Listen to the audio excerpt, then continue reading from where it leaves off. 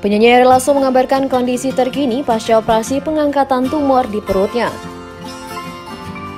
Melalui beberapa unggahan di akun Instagramnya, @ari underscore lasso, Ari membagikan foto dirinya sudah berada di ruang rawat.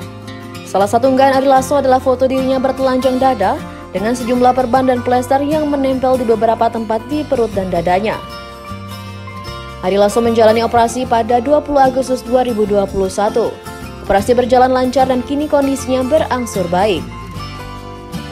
Ari Lasso mengatakan kondisinya saat ini sudah stabil dan kembali ke kamar rawat inap di ICU.